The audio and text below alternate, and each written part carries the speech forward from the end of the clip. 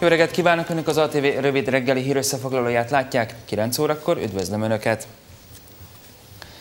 Január 1-én hatályba léphet a fair bankokról, az a fogyasztói hitelek szabályozásáról szóló törvény, mondta Orbán Viktor miniszterelnök a Kossuth Rádió 180 perc című műsorában.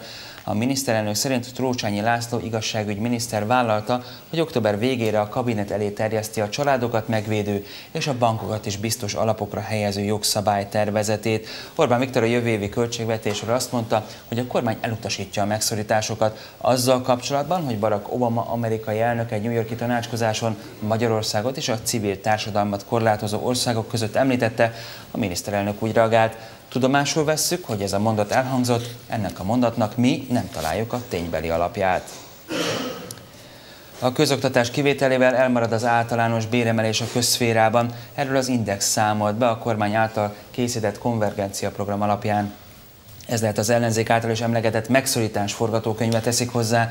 Ez szerint a nyugdíj nem emelkedhet az inflációnál nagyobb mértékben, és nem nőnek a családi és szociális kiadások sem, és a gyógyszerek támogatása is elmarad az inflációtól. A portál szerint a kormány az idei szinten fogyasztja be a bérlettámogatásokat, és nem vesznek föl több közalkalmazottat sem. A kormány a szigorú gazdálkodás érdekében azt is vállalta, hogy állami beruházás csak akkor lesz, ha a forrást valamilyen állami vagyon értékesítéséből elő tudják teremteni.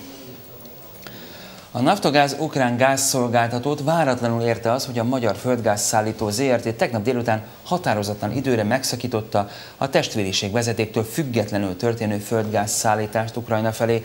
Az ukrán vállalat közleményében azt írta, nem tudta elérni a magyar szállítót, hogy tájékoztatást kapjon tőle a gázszállítás leállításának okairól és időtartalmáról, és tudomásuk szerint a nyugat-európai gázszolgáltatók sem kaptak a cégtől semmilyen meggyőző magyarázatot az intézkedésre.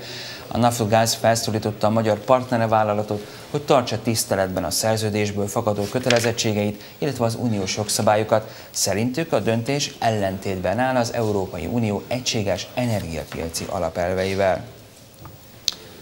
A vagyonnyilatkozatban rét és gazdasági épület, a valóságban panorámás, balatoni villa és díszkert. A Magyar Narancs elment megnézni, milyen az a Tihany külterületén álló ingatlan, amelyet Mészáros Lőrinc felcsúti polgármester és felesége a lap tudomása szerint tavaly vásárolt meg. Képekből kiderül, hogy a telken valójában körpanorámás luxusvilla szép kertel. A helyiek szerint nem is a polgármester, hanem a gyerekei szoktak pihenni a nyaralóban. Az udvaron található tábla szerint a Felcsúti Puskás Ferenc labdarúgó akadémiát is őrző Eurovéd ZRT gondoskodik a telek biztonságáról. A Magyar Narancs úgy értesült, a nyaralót 120 millió forintért vette meg Mészáros Lőrinc. A miniszterelnöknek sem tetszik Zoltai Gusztáv kinevezése, írja a vs.hu. A lap szerint Orbán Viktor valószínűleg nem tudott arról, hogy első számú minisztere a Mazsihisz volt ügyvezetőjét nevezi ki tanácsadójának.